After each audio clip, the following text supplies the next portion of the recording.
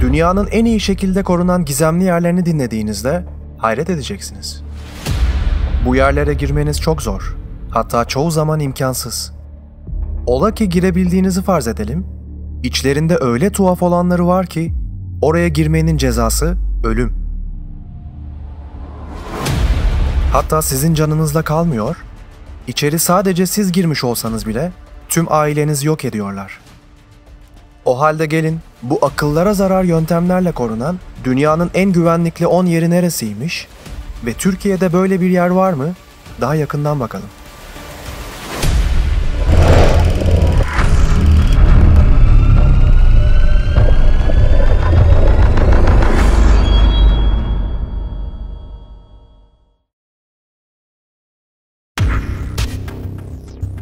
Listemizin 10 numarasında Vatikan'ın gizli arşivleri yer alıyor. Vatikan'ın kale benzeri bir bölümünde yer alan 1200 yıldan beri arşivlenen tarihi belgeler ve el yazmalarının yer aldığı bu birbirinden ilginç teorilerin oluşmasına neden olan binaya girebilmeniz neredeyse imkansız. Yüzyıllardır biriktirilen belgeler öylesine fazla ki arşivdeki raflar bir araya getirildiğinde 85 kilometrelik bir uzunluk ortaya çıkıyor. Yanlış duymadınız. Devasa bir veri deposu burası. Kraliçelerin el yazması mektuplarından birçok dini belgeye ve devlet evraklarını içinde barındırıyor. Bu binayı dünyanın en korunaklı binalarından biri haline getiren şey ise bu gizemli arşivlere öyle her isteyenin ulaşamıyor olması. Herhangi bir belgeye ulaşmak istediniz, aylarca devam eden bir başvuru sürecinden geçmeniz gerekiyor. Ve genel kabul gören kurallardan biri ise arşivlere ulaşabilmeniz için 75 yaşını doldurmuş bir akademisyen olmanız ve 6 ayda bir erişim talebinde bulunabilmeniz şartı yer almakta. Kimsiniz nesiniz diye uzunca bir şekilde tüm hayatınız araştırıldıktan sonra kabul edilirseniz İsviçre muhafızları tarafından güvence altında belirli bir giriş noktasından içeri alınırsınız.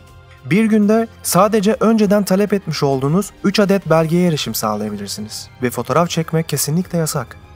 Aslında geçtiğimiz yıllarda arşivlere ulaşma kuralları biraz esnetilip belgelere erişimin daha kolay hale getirilme kararı alınmış olmasına rağmen virüs dolayısıyla arşiv ziyaretleri şimdilik tekrardan kapatıldı. Dan Brown'un Melekler ve Şeytanlar isimli kitabında yer verdiği bu gizemli yer birçok komple teorisine de ev sahipliği yapıyor elbette. Çünkü arşivlerin çok daha korunaklı bir bölümü olan sığınak olarak adlandırılan yerinde hayal ettiğinizden daha büyük gizemler yatıyor. Illuminati sırlarından uzaylılara hatta Hazreti İsa peygamber ile alakalı kimsenin bilmediği bilgilerin yer aldığı belgelerin varlığına inanılan Vatikan gizli arşivleri listemizin 10 numarasındaydı.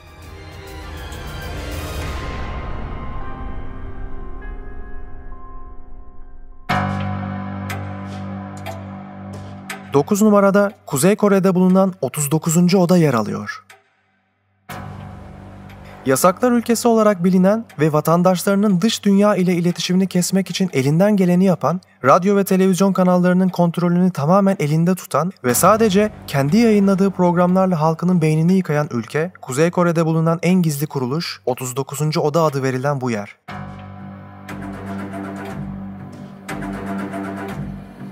Vatandaşlarının interneti kullanmasının yasak olduğu bu ülkede bulunan 39. odanın içinde neler döndüğü tam olarak bilinmese de kara para aklama ve yolsuzluk gibi olayların hükümet eliyle gerçekleştirildiği ve tüm sırların bu odada yer aldığı düşünülüyor.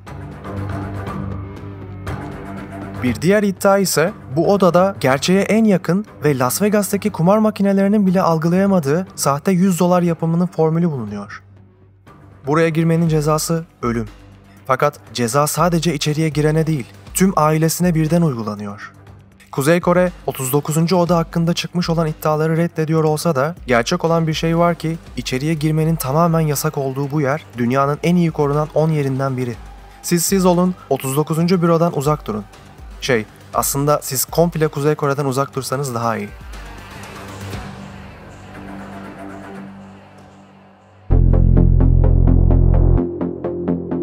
Binanın içinde öyle bir altın bulunmakta ki bir sinek bile olsanız içeriye girme şansınız neredeyse yok gibi.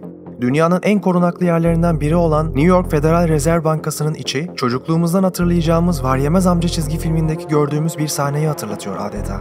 Hani şu altın içinde yüzülen sahne. Bankanın güvenlik sistemleri öylesine güçlü ki yabancı devletler bile sahip oldukları altınları bu bankada depoluyor. Banka içinde güvenliğin sağlanması amacıyla taşıma işlemleri insanlar tarafından değil robotlar tarafından gerçekleştiriliyor. Şimdi hayal gücünüzü biraz çalıştırın. Çünkü içeride ne kadar altın bulunduğunu duyduğunuzda hayret edeceksiniz. Dünyanın en iyi korunan yerlerinden biri olan New York Federal Rezerv Bankası'nda bulunan altın, tüm dünyada yer alan altın miktarının dörtte biri kadar.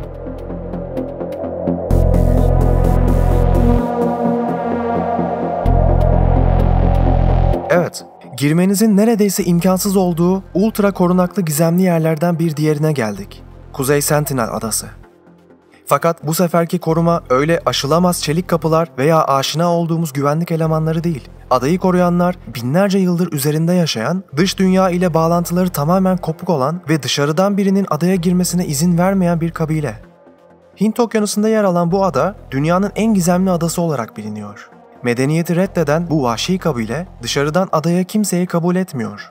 Hakkında çok az şey bilinen bu adanın fotoğrafları çoğunlukla NASA tarafından çekilmiş olan uydu fotoğraflarından oluşuyor. Ola ki bir gün bir şekilde yolunuz bu adaya düştü, karşınızda ellerinde oklarla sizi adaya sokmamak üzere yüzlerce vahşi kabile üyesini göreceksiniz. Bu adaya yolum neden düşsün ki demeyin. Hayatta her şey olabilir. Allah korusun. Adanın yakınında uçağınız düşer de olur ya hani siz hayatta kalırsınız veya bindiğiniz bir gemi karaya oturur. Çünkü daha önce böyle bir şey yaşanmış ve kaza yapan bir gemideki yolcular kurtarılmayı beklerken ada halkının saldırısına uğramışlar. Acaba dış dünya ile bağlantısı tamamen kesik olan bu vahşi halk adada bir şeyler saklıyor olabilirler mi?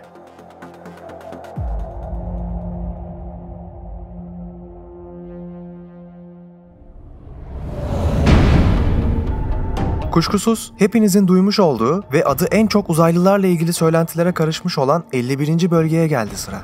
Listemizin 6 numarasında dünyanın en iyi korunan yerleri arasında bu gizemli üs bulunuyor. Amerika Birleşik Devletleri Hava Kuvvetleri'ne ait olan 51. bölge, dünyanın en gizemli ve en çok tartışılan yerlerinin başında geliyor. Hakkında en çok şehir efsanesi üretilen yer olan 51. bölge ile ilgili sayısız kitap yazıldı ve film çekildi. İçeride tam olarak neler döndüğü bir muamma. Burası dünyanın en iyi korunan yerlerinden biri. Öyle ki hakkındaki söylentilere daha fazla dayanamayan insanlar içeride ne olduğunu öğrenebilmek adına yakın zamanda büyük bir girişim planlayarak 1 milyon kişilik bir grup oluşturmaya ve hep birlikte 51. bölgeye girmeye çalıştılar. Böylesine büyük bir kalabalığa hiçbir gücün karşı koyamayacağını düşünen meraklı insanlar hedeflerine yine de ulaşamadılar. Bölgeye yaklaştığınızda güvenlik görevlileri sizi bir defa uyarmakla sorumlular ve ikinci uyarıya ihtiyaçları olmadan sizi vurmakta serbestler. İçeriye giriş sadece özel izni olan kişilere serbest olup devlet yetkililerinin bile girişleri yasak.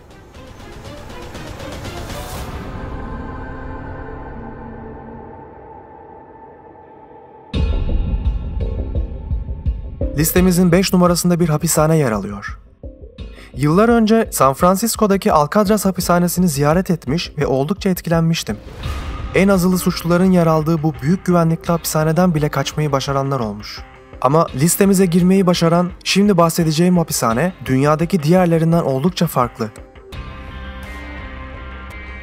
Bu hapishaneden kaçabilmek neredeyse imkansız.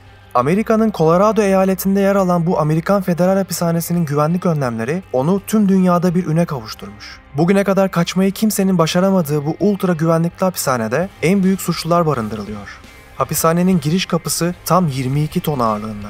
Hapishanedeki mahkumların çoğu idam cezasına çarptırılmış olanlardan oluşuyor. Her bir hücre ses geçirmez olup hücreler arası iletişimin önüne geçilmiştir.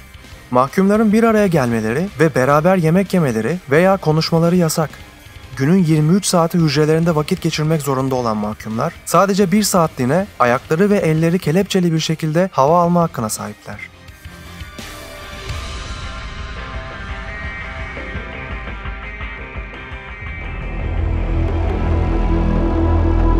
Aslında dünyanın en iyi korunan 10 yerinden biri olup olmadığı tartışılır olsa da Türkiye'nin en korunaklı binası ünvanına sahip olduğu için listeye Cumhurbaşkanlığı Sarayı'nı da dahil etmek istedim. Çünkü yapının güvenlik ile ilgili özelliklerini duyduğunuzda buna hak vereceksiniz. Türkiye'nin en iyi korunan binası ünvanına sahip olan Cumhurbaşkanlığı binası, bombalı, kimyasal ve nükleer saldırılara karşı yüksek güvenlikli olarak inşa edildi. Yasa dışı dinlemelere karşı içinde özel yalıtımlı bir sağır oda bulunan binada hükümet harekat merkezi de yer alıyor. Başkanlığın bulunduğu blok ile diğer bloklar arasında doğrudan bir bağlantı yok. Bazı bölümlere sadece parmak izi ve göz retina okuma sistemiyle girilebiliyor.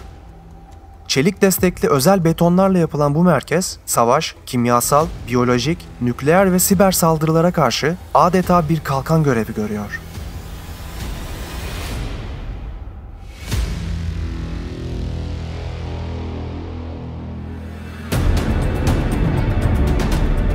Amerika Pensilvanya'da bulunan dünyanın en güvenli veri sığınağı olarak anılan bu yer eskiden bir kireç taşı madeniydi. Şimdilerde ise ağır silahlı korumalar, çevre güvenliği, metal dedektörler, kameralar, biyometrik erişim kontrolleri ve birbirinden ilginç tuzaklarla korunan bir yer haline geldi. 200 dönümlük bir kampüs içinde yerin 65 metre altında yer alan bu yerde özel suitler ve güvenli kafesler yer almakta. Bu sığınakta dünyanın en büyük şirketlerinin ve federal ajanslarının gizli belgeleri saklanıyor. Söylentilere göre binlerce tarihi ana kayıt, fotoğraf negatifleri ve orijinal film makaraları bulunuyor bu sığınakta. En çok konuşulanlardan birisi de Demir Dağı'nın içinde Warner Bros'un sırlarının saklandığı. Tabii kim bilir daha başka neler var.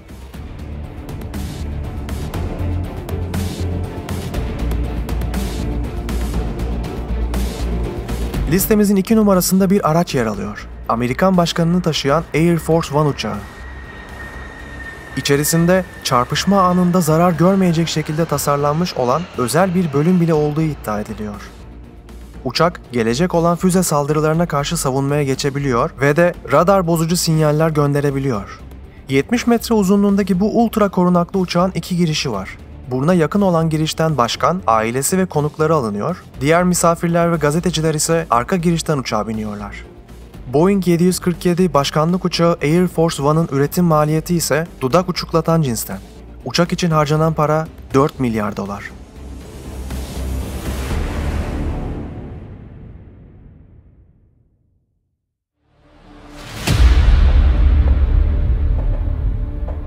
Norveç'te bulunan küresel tohum deposu dünyanın en iyi korunanları arasında listemizin bir numarasında.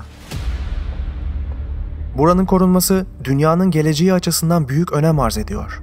İçerisinde dünyada meydana gelebilecek olası bir yok oluş senaryosuna karşın hayatın devam edebilmesi adına gezegenin dört bir yanından toplanmış bitki tohumları saklanıyor. 2008 yılında açılan ve diğer ismiyle Kıyamet Ambarı olarak bilinen bu ultra güvenlikli depoda dünyadaki bütün bitkilerin tohumları gerçekleşebilecek bir göktaşı veya nükleer felakete karşı tekrar kullanılabilmek adına buzların arasında dağın 130 metre içerisinde saklanıyor. Kıyamet Ambarı'na ikinci bir Nuh'un gemisi gözüyle bakılıyor. Dünyanın en iyi korunan 10 yerini izlediniz. Şimdi sizler için buraya birbirinden gizemli iki adet videomu bırakıyorum. Yeni videoda görüşmek üzere.